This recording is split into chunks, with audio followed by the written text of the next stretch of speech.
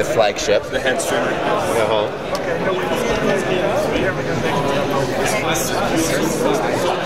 And what is the uh, what's the big thing with the HeadStreamer? Head streamer is a, a external um, sound card that you just plug a USB cable into and then plug your head, um, headphones into and play your music. Um, it takes control of the computer and says, let me do the job better because that's my primary focus and so you'll get your music that you've downloaded um, played out at a better resolution in kilohertz.